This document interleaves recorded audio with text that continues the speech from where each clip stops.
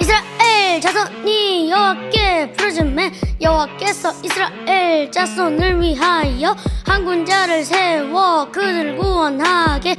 언니 끝난 곳 갈라베 아우 끝났어요 아들 온일 이라 사세기 3장 9절 말씀 아멘 사세기 3장 9절 말씀 아멘 이스라엘 자손이 여호와께 부르짖매 여호와께서 이스라엘 자손을 위하여 항권자를 세워 그들을 구원하게 하시니 그는 것 갈라베 아우 그나세 아들 온일이라 사사기 3장 9절 말씀 아멘 사사기 3장 9절 말씀 아멘